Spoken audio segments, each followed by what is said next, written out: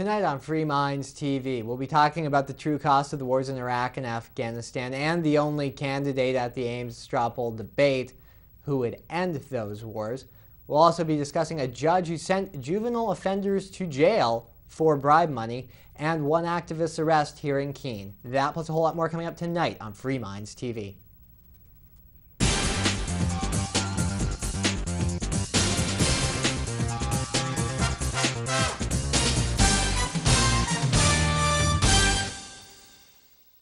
Welcome to a brand new edition of Free Minds TV, where we challenge you, the viewer, to think outside the box. It is season six, episode 30, or the 218th regular show we have done. And as always, it's Toby here with you. And a lot to talk about. Nick, I mean, I, I want to get into uh, the arrest and then a year later, uh, the, the, the sentencing of Ian Freeman, who was arrested a year ago for obstruction of justice, something along those lines. Yeah, I think it was obstruction. He, he stood in the in front of a police car um, when they were arresting people. He had planned to do it. He said the next time the police arrest someone for a victimless crime, he was going to stand in front of the police car and get arrested. Civil disobedience. I mean, well, if that was his goal, he was successful. And he was sentenced. We'll be getting into that. Um, he's currently in jail. We'll get into that the second half of the show, as well as uh, a tragic story uh, that came out of Pennsylvania. We covered it a, a while back. I think it was well over a year ago when we talked about it. A judge who had been taking bribe money, millions of dollars in bribes, to sentence kids to uh, prison time, or to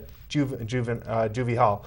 Uh, this is what happens when you kind of semi-privatize the criminal justice Yep. system, which we've seen with uh, you know these private. A lot of detention centers and prisons are pri- private, or they're administered privately for the state. Yep. So, So- there's money to be made. took in thousands of millions of dollars in bribes and fortunately after over 4000 kids were sent to jail some of them might have deserved it others of them definitely did not. Um, anyways he's been sentenced. So there's some good news coming from that. But first we've got to talk about it. It's we're still fighting three wars couple of them are really starting Well, I guess it depends on how you define them. I mean, okay you could define it even more broadly than that. you could say well we're still occupying 130 countries Well, right. I mean, we still got occupation forces in Korea and Japan. Sure. That they cost money, but they're not really ongoing wars. So Yeah, and uh, amazingly enough, I mean, you'd think by now uh, we ran. Obama ran on this what seemed like an anti-war platform years ago, and if you listen carefully, he you- didn't really nope, say. but he it would- sounded like Right. it. Definitely sounded like it. Uh, it's amazing that we're still in these wars, and there's really no candidates except for the ones the media is marginalizing that would pull us out of these wars. Well, that's because peace is just insane. But it- constant war is the only Isn't that crazy? The public support, policy. public support is not out there for wars or occupation, occupying 130 countries. The public doesn't need that. It's those. But the government doesn't exist for the public, Tilly.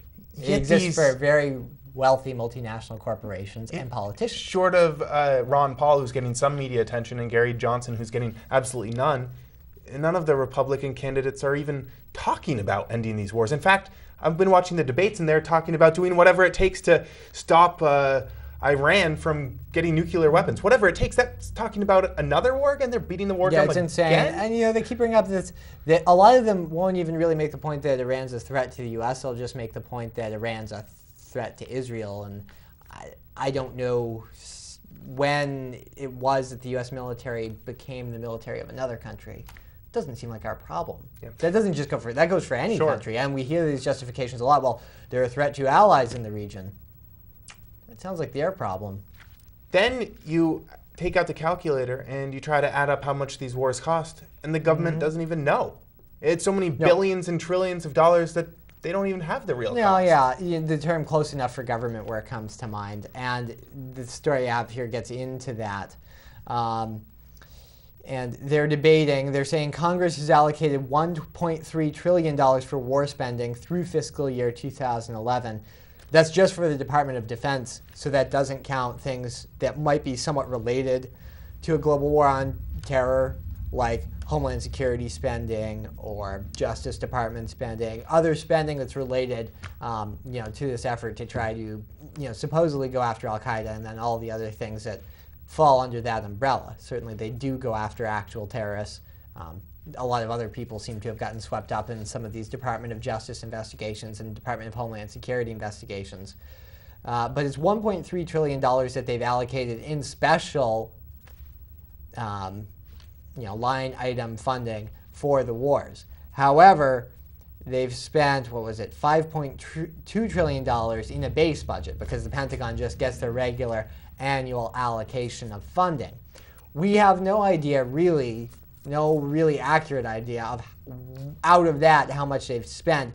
The best estimate I see here um, puts the total spending, that 1.3 trillion plus some of their regular budget, because obviously they're spending some of that on Iraq and Afghanistan puts the total at $3.7 trillion or $12,000 per American. I would also like to point out that if we weren't uh, fighting all these wars of aggression in other countries, it didn't need to be spread to 130 plus countries out there, fight fight other dictators and other rulers who pose no real threat to the United States, the Pentagon wouldn't need its five point whatever trillion dollars base budget. It wouldn't be necessary well, because the, it just we wouldn't need this giant standing army to go fight foreign wars. Right, that's certainly true. Uh, or to basically, I mean, to fight foreign wars, or um, you know, certainly troops are kept in places like Japan, Germany, Korea for strategic reasons. A thousand, I mean, a thousand plus bases across right. the, uh, the globe. Right. I mean, uh, there, you know,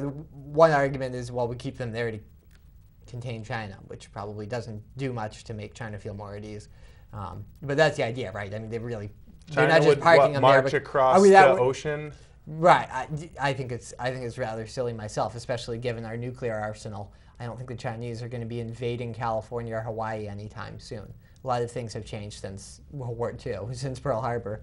Um, but on the other hand, I think uh, part of what we do, especially when the U.S. puts troops in places like Western Europe, countries which are more than capable of defending themselves. You know, partly they're using those air bases and things to get troops to other places. And partly we're effectively just subsidizing, as I mentioned Israel before, we're still subsidizing the defense of a lot of countries that aren't the United States. Your tax money, even though we've got all this debt piling up, the U.S. credit rating downgraded, um, you know, our economic future looking pretty bleak Washington, D.C. still sees fit to take your tax money and use it to effectively subsidize the defense of places like Germany, of Israel, of Japan. Doesn't make a whole lot of sense to me, Toby. It's not just like they're overreacting and allocating way too many resources to defending the U.S. They're essentially trying to act as a military for a good portion of the world. Why don't we let, you know, Germany and Israel and other countries are supposed to be allies where we have bases, why don't we just let them worry about how they're going to defend their borders and we'll worry about our borders? Yeah.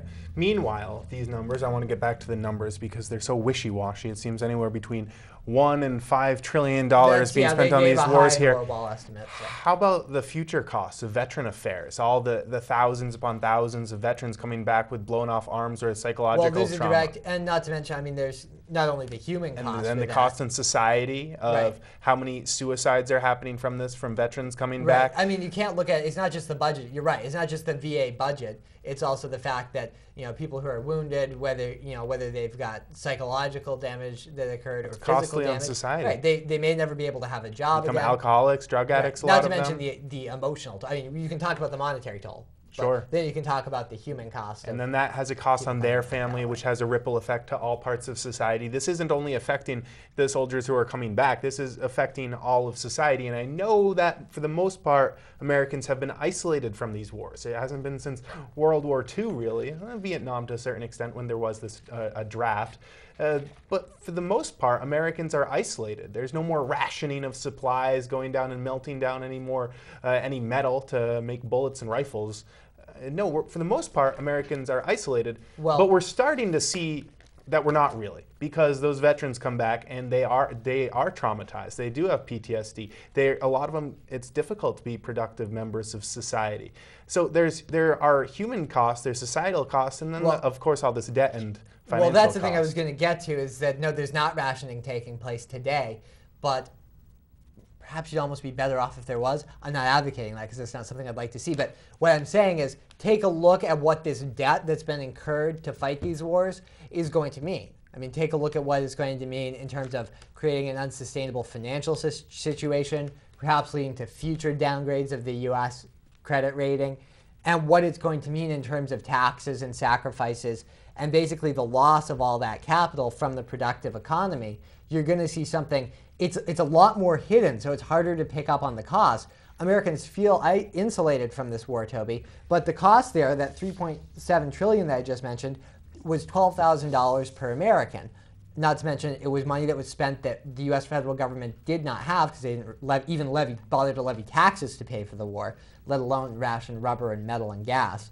So, what they've done is they've taken the cost of this war and they've pushed it off, so we're really going to feel the full brunt of it in 15 or 20 years. Mm-hmm. And who knows how big the debt will be by the time the wars actually end. The expenditures in Iraq and Afghanistan are ongoing, and frankly, uh, especially in Afghanistan, there's really no end in sight, at least based on what the, the politicians in power right now and the mainstream candidates are saying. Right, and that twelve thousand dollars per American that includes the little kids who weren't even born when the wars started, or the old people who are 95 who right. are, haven't paid taxes in 20 years right. and who are about to. I don't think they're, they're going to pay that money again. before they uh, they. No. They're on pensioners on Social Security yep. count towards that. That's per American. If you do it per taxpayer, it looks a lot worse. Yeah. Okay. One thing you mentioned, Nick, was there's no candidates saying this except no mainstream. Yeah. No mainstream. Well, is that true though? Because by the time most people are watching this, it'll be a week since the Iowa straw poll took place. Um, and you know what? I think it's kind of fitting that people are watching the show a week after it took place because during that week, there has been a virtual media blackout on a candidate who was in within just less than a percentage point from taking that poll away. Ron Paul was within 152 votes, less than votes, less than 1% from winning the Iowa straw poll, but within the last week, you would never know that he was even running for president. No, I mean basically the coverage amounted to you know Bachmann finished first, and this was a bit. Here's the thing: is the media isn't. It's not like they're just discrediting the Ames straw poll and saying straw polls don't matter. We're just not going to count it. They're being incredibly selective with their journalism here, and I don't see how you know, Bachmann was not necessarily, I mean, she's been a media darling, but she's not a huge force. She hasn't been to date a huge force within the Republican Party. I don't know why it's so much more significant when Michele Bachmann wins by less than 1% than when, say, Ron Paul had won. Would they just ignore that? If he had taken first, I think it would have been harder to do, but they basically just skip over him and say who finished first and second. And, well, well Ron Paul doesn't really matter, even though he finished basically in a statistical tie with Bachmann. And I'm not saying straw polls are not accurate in the sense that they're not a scientific poll by any means, but they do say something significant about the amount of support and the amount of organizational ability that a campaign has. And Ron Paul has a huge amount of grassroots support and organizational ability. Finishing basically in the dead heat with Bachmann is something that's significant, but most news outlets have failed to cover that fact at all. They'll skip down to who finished third and fourth, but they don't cover who's in second or place. Who, and Perry, who entered the race, they mm-hmm. covered him more right. than anything. And now Perry's a favorite. Right. I mean, he's just another George favorite? Bush. Are the media's favorite apparently because people in New Hampshire, maybe they've been following this because Perry's name has been floating around for a while and they've read up on him. People in New Hampshire have no idea who Rick Perry is. They've never seen him debate because he just entered the race. How is he their favorite? People in Iowa, no idea really who Rick Perry is because he hasn't really been campaigning, because he hasn't officially been in the race for more than a week. So, how does he suddenly go, the guy who skips the straw poll and who people in most of the country outside of Texas really don't know at all when you're talking about your average voter, how does he go to being the favorite? And uh, I hate to sound this way, Toby, but I really do feel like watching the last couple of election cycles, the media really tries to control to control, you know, and tell you this is who the these are the acceptable candidates. This is who you should vote it's, for. Pick you know, pick Mitt Romney or pick Rick Perry. I mean, I think. Well, how about you just report on things instead of trying to drive election you cycles? You know, it's ridiculous. I've you, been watching. Yeah, Fox News is so. Uh, well, all of them. It's not just Fox News. It's, no, it's MSNBC. Everybody. It's CNN. I was watching a couple of it's these debates. It's hard to watch these debates. I'm, I'm watching Ron Paul, the only candidate up there who's like, let's get out of these wars, and not only that, let's take the troops home from all around the globe. It's amazing. You don't hear any liberal Democrats, short of Dennis Kucinich, say that. You just don't hear it. That's not what candidates say, but you hear Ron Paul saying it. The crowds applauding, cheering. Meanwhile Meanwhile, the moderators are rolling their eyes and laughing at him for suggesting that we bring the troops home from around the world and stop trying to be the police of the globe. And they're laughing at him. These are supposedly news people reporting the news, laughing at the, the, the idea of bringing troops home, not only from Iraq and Afghanistan, getting out of Libya, but also Germany and Japan and the other 130 countries. He's the only candidate saying it, and he's getting laughed at by the news people for it. I watched this one clip on Fox News who said Ron Paul is one of the candidates at the Iowa State Fair, but if you see him, don't talk to him. Just uh, keep on going and see if you uh, can get a Bachmann clip or a Sarah Palin clip, who's not even announced that she's running for president. They're saying ignore him and laughing about it. And this is supposed to be news. It's not. It's it's it's very sad to watch almost because then you go and then America goes, well, why do we get more of the same? Well, you've got another guy who's essentially George Bush the third, Rick Perry, who the media is fawning over and completely marginalizing Ron Paul, the one guy who they say, well, we're not covering him because he's he's too fringe. He actually would change some things and shake things up. Well, isn't that what America needs right now? Yeah, and to be quite frank, I mean, I don't want to get into the you know campaigny wonkishness of the whole thing too much. Um, but I think if you look at places like New Hampshire, and you know, I'm not really that familiar with Iowa's politics too much, but you know, the Republican Party, at least in the Northeast and especially in New Hampshire, I think a lot of people, you know, including state reps and people like that, who are very active in politics through the Republican Party, at least in New England, they're probably a little bit closer or a lot closer to Ron Paul in their views. And I realize some people say, well, his views are pretty extreme compared to, you know, mainstream Republicans.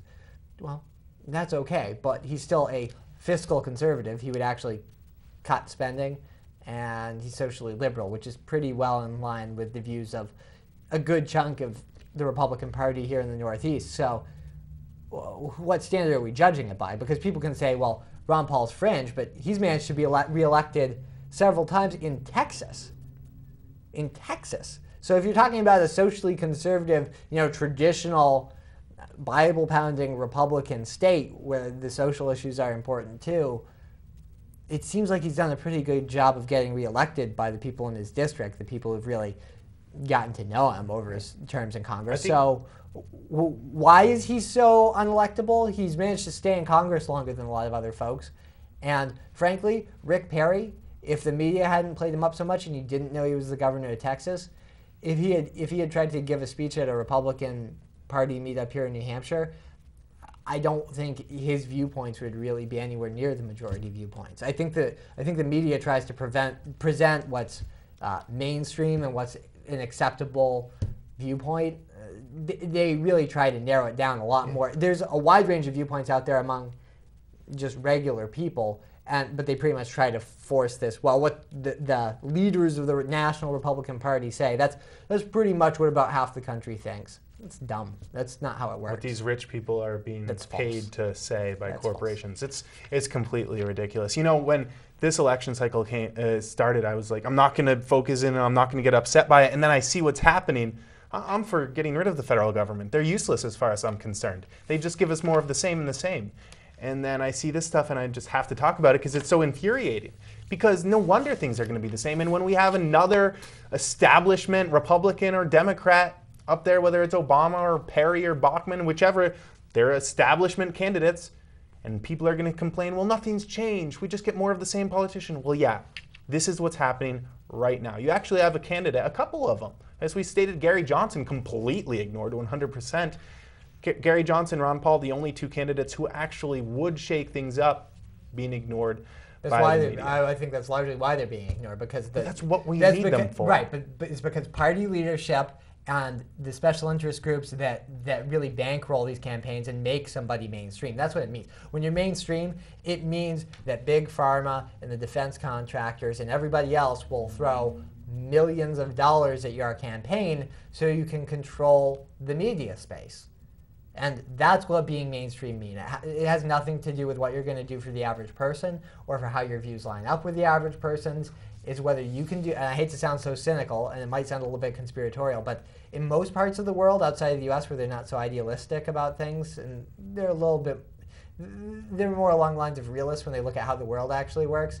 In most parts of the world, it's just understood that that's how elections work. That's how politicians work. I'd almost rather go back to that, Nick, because then it's at least honest. Because this is the most uh, dishonest thing I'm watching roll out in front of me, and it's just disgusting to watch. Well, it happened last time too, and at least he, And time Paul is before, getting a little bit more before. coverage than he got in some of the pre. That's because he called it perfect, though. I mean, it's it's Right. it's tough. He was essentially a psychic predicting the future, and if a psychic had done that, they would have given them some coverage too.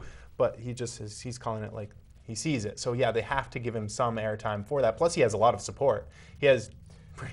Oh, one thing I wanted to mention before we move on from this story: uh, Bachmann won by 152 vo- votes. She also bought 6,000 tickets to the Iowa straw poll. That's um, she only got about 4,600 or something, vote, 4,000 4,800 votes. So uh, she got about 80% of the votes she paid for. Ron Paul, on the other hand, bought about 4,000 and sold them for 10 or 20 dollars a ticket and got um, uh, 4,600 or something. So he actually got more votes than he paid for. She got fewer votes than she paid for. So just something to gnaw on a little bit of who the public is actually there for.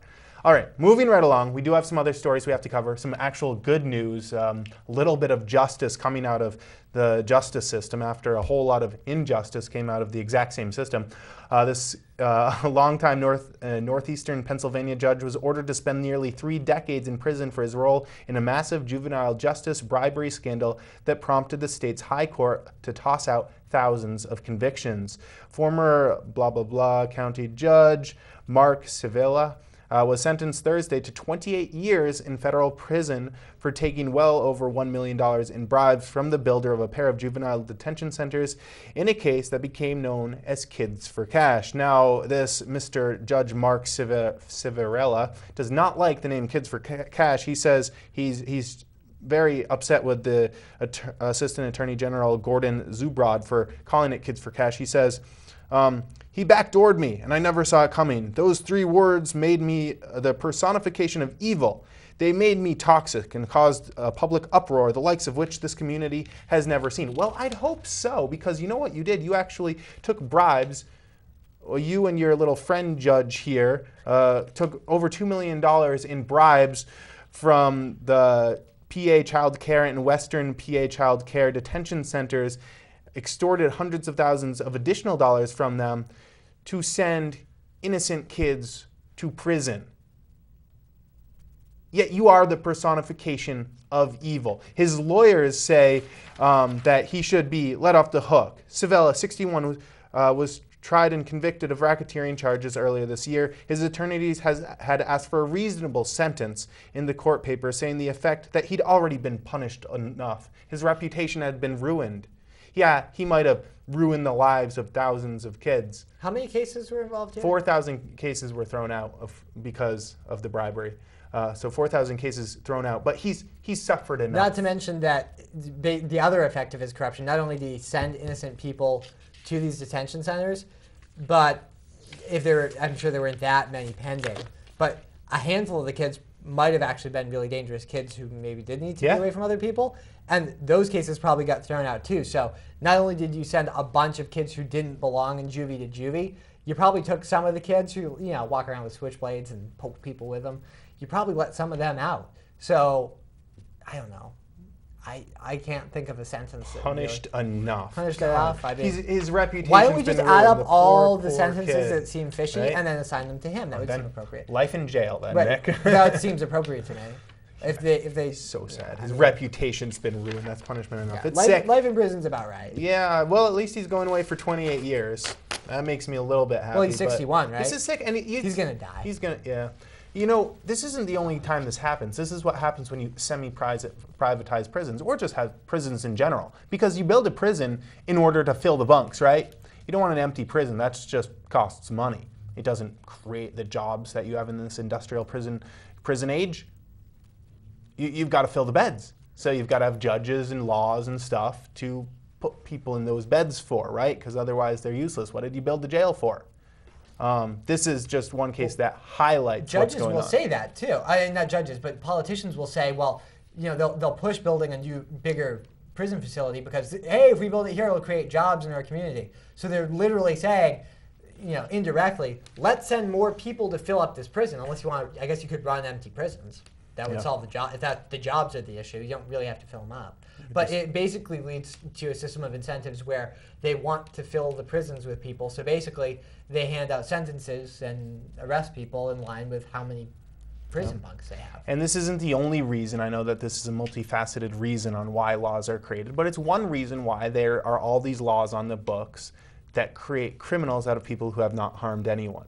Well, Victimless imprisoning crimes. people is a pretty poor way to Sure. advance employment in a society. Sure, it's but- the opposite effect. So one of the effects, though, of having these prisons is laws are created. We have this war on drugs, sending millions of people to prison every single year. Or I guess it's not millions to prison every single year. Millions arrested every single year. Many of them going to prison. Millions of convictions every single year. Some of them jail time, some of them just fines. But anyways, you create millions of laws on the books out there that make people criminals who have not hurt anybody. Now, personally, I don't want to pay to have somebody sit in a cage for any reason unless they've hurt somebody. They've hurt someone or someone's property, there's been a crime committed, there's a victim. Then I'm happy to pay to keep them in a cage. That's okay with me.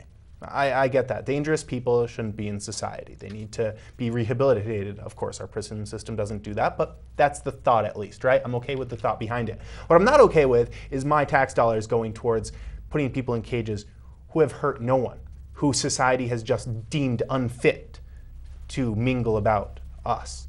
People who haven't got, haven't gotten caught you know people who go to jail for drugs uh, or people who go to jail uh, because they like prostitutes or people who go to jail last week we covered someone for shingling his own roof and doing it wrong. I mean all these people where nobody's been hurt they're sitting in cages costing us all a ton of money and being taken out of the productive um, part of society one of these people who's been a huge um, uh, he's been a huge spokesperson for getting rid of victimless crimes is talk host show uh, talk ho- show host Ian Freeman. Um, he does Free Talk Live, which is on about a hundred stations across the United uh, States, as well um, as being a blogger over at freekeene.com. About a year ago, he stood in front of a cop car as it um, pulled away with one of his friends behind it who had been arrested for drinking in public. Yes, another victimless crime. Um, he said that he was planning on getting arrested the next time they were arrested someone for a victimless crime. He stood in front of the cop car, as did a couple of other people. He was arrested. A year later, he's been sentenced to 270 days. I'm sorry, one year in jail, 270 days of that suspended. So in jail for 90 days. He was uh, convicted by a judge. He asked for and was sentenced to two months in jail. Asked for a jury trial. Convicted by the jury uh, jury um, members, and then sentenced to 90 days in jail. So you know, of course, the court's saying, well, we've got to definitely punish him extra for requesting a jury trial. I guess he's painted a picture for what the courts do. Yes, Nick, you were saying, well, that's what they do. That's what he'd expect. Yeah, that's what they did. Personally, I think it's a tragedy because I don't want to pay for it. It's a waste of money. Certainly a waste of money. I just don't think it's very effective. I don't. Yeah. I understand the point. Ian's banking. I don't think he made it very well to average people. Yeah, You're better off not getting arrested. He's gotten his message out there, and I'm sure there's going to be a lot of people moving to Keene from this and donating money to the cause. So the one way or the other. 25,000 people in Keene don't react to it well. We are out of time this week. Thoughts and the comments, freemindstv.com. Until next week, it's been Toby here with you. And Nick. Have a good night.